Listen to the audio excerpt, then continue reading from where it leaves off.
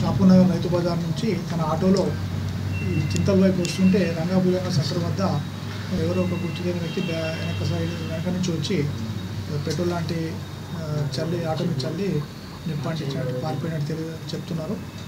ఇటు ఆటో ఇటు సంఘటనలో ఆటోతో పాటు ఆటో డ్రైవర్ అయినటువంటి హనుమంతు ఇతను థర్టీ ఎయిట్ ఇయర్స్ ఉంటాడు. ఇతను కూడా తీవ్రంగా ఇతను కూడా గాయపడడం జరిగింది. నాకు సమాచారం అందిన వెంటనే సంఘటన స్థానికి వెళ్ళి ఆ యొక్క ఇంజూర్ను గాంధీ ఆసుపత్రికి పంపించడం జరిగింది ఈ సంఘటన మీద కేసు నమోదు చేసుకొని దర్యాప్తు చేస్తున్నాం